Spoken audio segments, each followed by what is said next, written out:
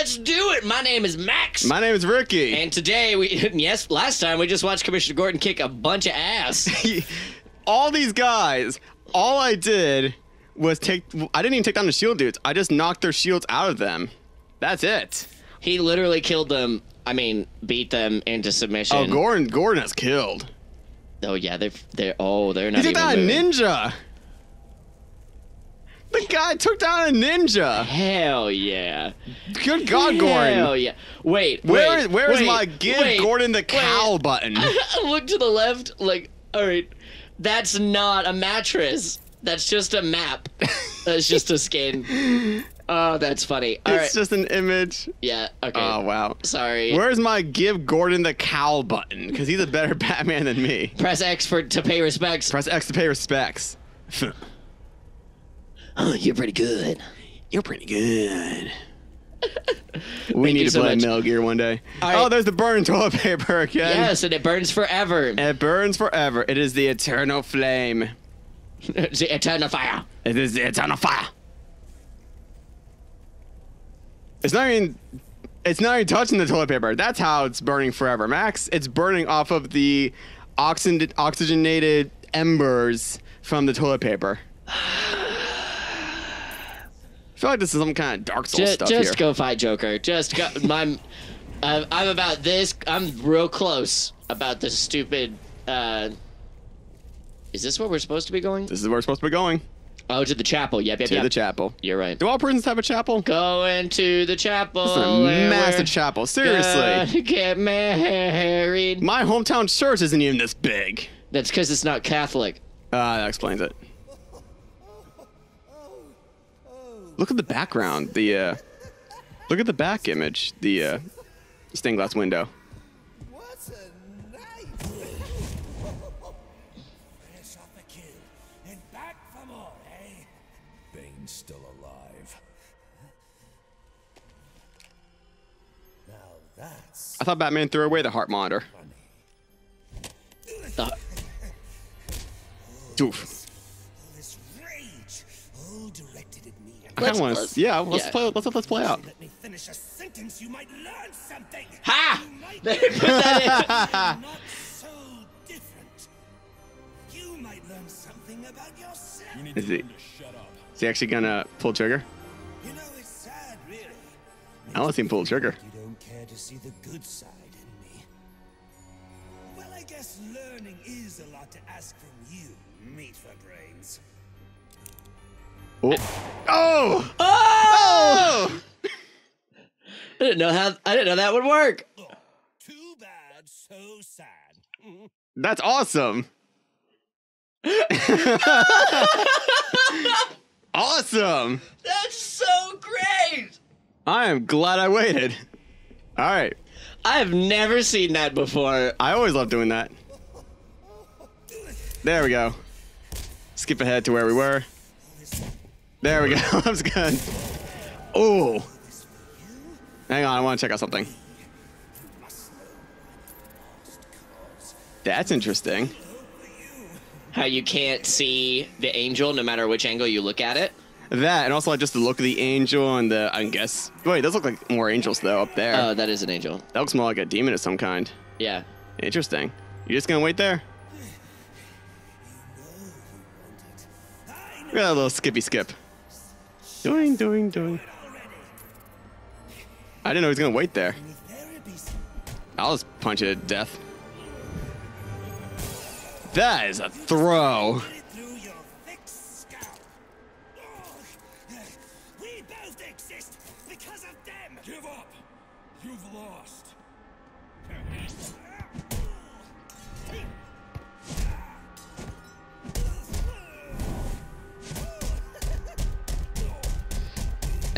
Just literally, it's it's just the one, it's the one hit beat down. That's it.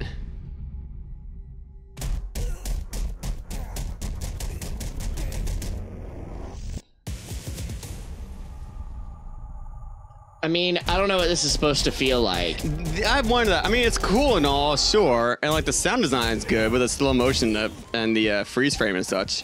But it's like, It just went on for a little too long. It just went on for a beat more than it needed to. yeah, and there's not as much weight behind it. It's not badly done. It's just I just don't know what the weight is supposed to be. What's the value? Till your knuckles bleed. Why quit there? you know there's only one way to stop me. In Arkham Knight, there's a similar scene where you're essentially just beating down the Joker, um, and it's it's well done because it actually has a lot of meaning. It's like there's weight behind every punch. But Yeah. in this one, it's not. It just doesn't have that as much. Any one of my guys would have killed him. The city deserves better than that. You know, my daughter thinks you're a hero. But I still have to bring you in. Gordon, come in. What's your 20? I'm in the chapel. We got the Joker. He's hiding it behind a pew. And how did you do that? Batman just like just belly flopped down behind the pew. Had some help. Boo. I keep asking myself why I didn't bring him in. Because you couldn't find him, old man. He is. He literally jumped away. I let him go because of you. Because you believe in him. That's why you have to go. Pat, pat. Me in charge. Oh, shit. And I can't Joker does that already. Okay, don't need to more than I jump ahead there. Oh. damn city. Did we have a paraplegic joke earlier on this playthrough? Several, and it needs to end. It does. Oh boy.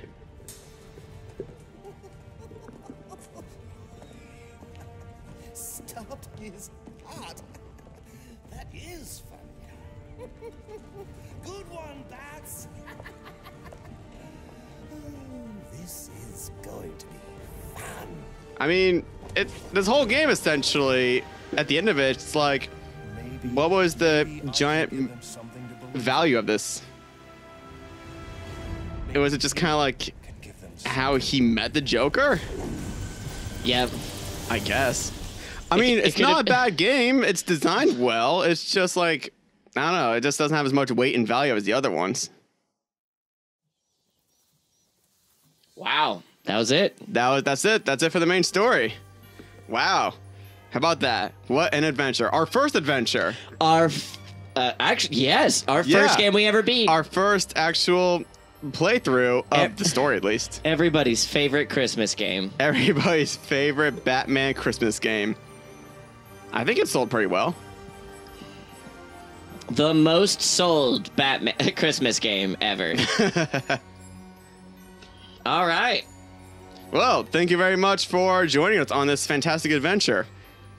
Uh, all right, and the next a bunch of you are probably going to be like, "Oh, they didn't finish everything." So, the next episode is going to be wrapping up loose ends. Yep, it's gonna be a combination of like collect collectible things, um, side quest things. Ah, probably just a couple extra finale up things. Ooh, and then after that, what are we going to do next? We have the Frozen Heart DLC. Oh shit!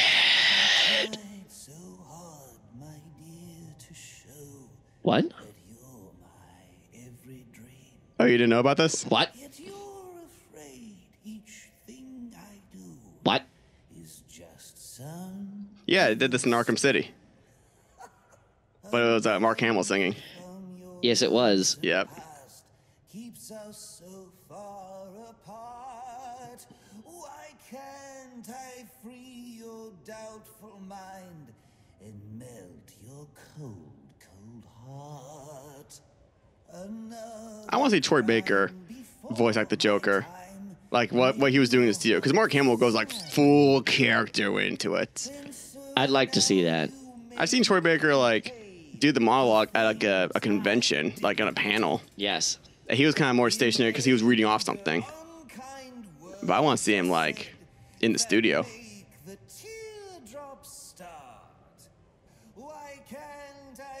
DS DLC level designer. Daniel. So this is a game that uh, that I invented. Uh, uh, every time we go see a movie, we have to find we have to find and pronounce some of the hardest names. Yes, we tried to do that in Infinity War. Jacques Patrick O'Dane. I mean, Infinity War. We are also saying like dead, dead, dead. No, don't don't spoil it. Daniel Gaupel. That was my thing. I took my family to see Infinity War. My mom still hates me for it. Frederick Oulet, La Branche, Emmanuel Papas. So Max, overall, what was your view of this game? What did you think of it? honestly, I think it was really well put together. I think uh, one of the things that I critique uh, that I critique all games really hard on is uh, is voice acting, and I think this one was on point. Uh huh. Um, it's not without its glitches, even though it's got Warner Brothers money, but that's fine because you. Excuse me, Troy Baker. You're tearing me apart, Lisa. I did not hit her. It's bullshit. I did not. Oh, hi, Mark. Um, oh, hey, petite homme. Um, I think that it was all right. How do you feel about it? um, I think the fighting, the gameplay of it, which I critique a lot on games, was done really well. The combat smooth as ever because they had the same freaking engine from before. Um, the gliding, I talked about it before. Like the gliding wasn't as efficient enough for the size of the map. Guest, political strategist Dean Ooh, hello. following tonight's events since the start, more than eight hours ago. Dr. Snyder, let's start with you. What's your view? Well, Jack, it's a travesty. The ultimate failing of the justice system. I don't remember this one. Vigilante cleaning up our streets after countless deaths and bombings. What has happened to our police force? Who the heck is Dean Snyder? Gordon? I don't exactly know. Prove Himself tonight. Hold on a minute, Dean. Now, I'm no defender of the GCPD or Captain Gordon for that matter. Like you said, tonight's debacle is some reflection of his efficacy, but I can't see. To be fair, you guys lost the bridge. in any municipality doing a substantially better job against criminals like this Joker character or any of the hired killers he's brought into town. I mean, these guys are a different breed. We've never seen anything like this. So for me, it's less a reflection on Gotham's cops and more of a reflection on the state of our country. A country where our mental health and education systems are so warped and broken that we produce criminals of this nature. You raise an interesting point, Hank, but what I'm wondering is what Jack Ryder is the Yeah, yeah, yeah. yeah one report guy. He's the it's just plain the jackal or Ooh, whatever. his Quincy name is. Sharp. This isn't about the police or the bat. Do you remember him? Yes. This isn't about the state of our nation somehow churning out a dangerous new batch of the criminally deranged. It's about the ah, failure. Oh, I think they even got the same voice actor. That's cool. An institution which, in my view, represents the biggest threat to Gotham and its citizens. A time bomb, just waiting to go off.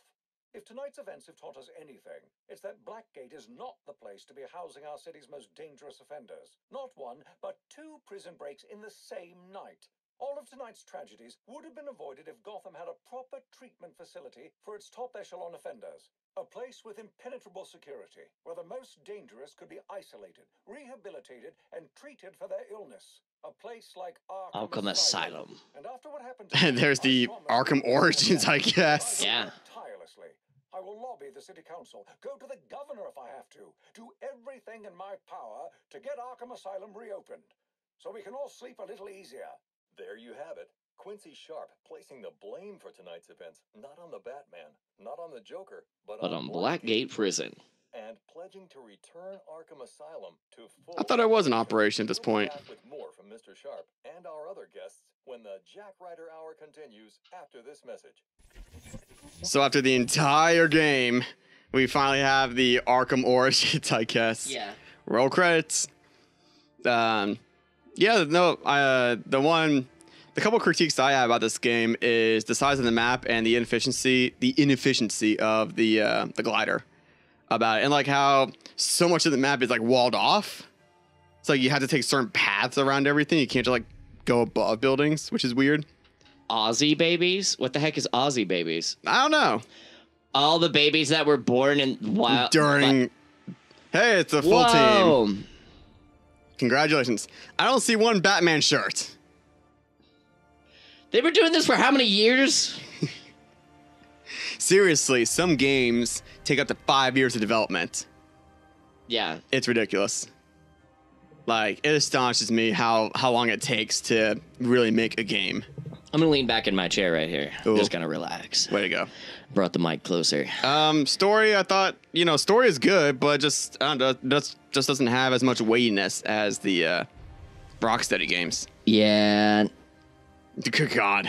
Yeah, I mean that's the that's the other issue is that like the, and that's the problem with writing a prequel. Like you can't have the same kind of weight. You can have a different weight, Yeah, and this game does have it in different areas. Yeah, but there are things that you can't do in a prequel that they tried to do, and like there was not a single point this whole thing where I Uh-huh. was like, oh no, we're gonna lose him Yeah. because they like everything they built up, like Bane finding out and uh, who Batman is, Yep. and um, Alfred falling to his death. Alfred falling to his death. Like that's We know the outcome no matter what. Yeah, but the and that's different than when the Joker puts gets in the electric chair Yeah. because that's not a of all we do know that that's not going to happen, but at the same time, it's the challenge of oh crap, now what do we have to do because we know because we're reading it, we're like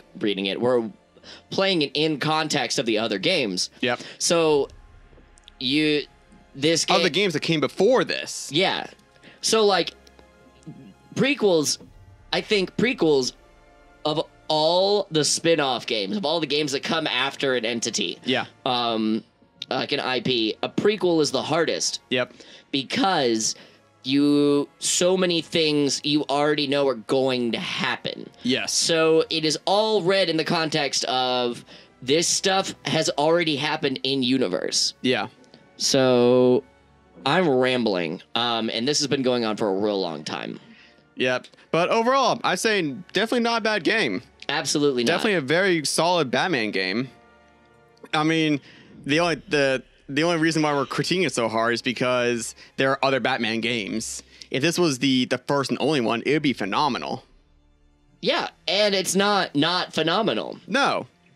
It's like it's solidly built. It's got a really good story. Um, you feel like Batman the whole time. you time. absolutely feel like Batman. That's what all the games have done phenomenally well. Hey, is there's never a point where I don't feel like Batman. Uh, Will Smith worked on this. All right, Cool. All right. Let's call this an episode. We shall. It was so good to see all of you. We got New Game Plus unlocked, and then I Am the Night mode, which if you don't know what that one is, now we got alternate Batman outfits. Uh, if you don't know what I Am the Night mode is, it's literally uh, one life. You die, you lose. Figured you'd be by. Is that Waller? Yes, it is. Suicide Squad. And what happens if I don't sign? You rot in here, or you work for me. They got the animated actor, actress. Hell yeah. Yeah, she's my favorite Waller. There is a spin-off game of this spin-off game called Arkham Blackgate or something that came out on like the PSP. It's a 2D side scroller thing. It it's not I never played it. You're up for it. I've got a few loose ends to tie up out here, and I could use your help. You can count on it. And when you get home, we can finally have that Christmas dinner I've been keeping warm for you for our breakfast. And we'll tie up those loose ends next time on Leather Soup Gaming. All right, this has been a wonderful adventure. We'll see y'all in our next one. Give your parents a hug because they are definitely alive. And if they're not, hug their picture that you keep on your fireplace. Oh god. That's what Batman would do.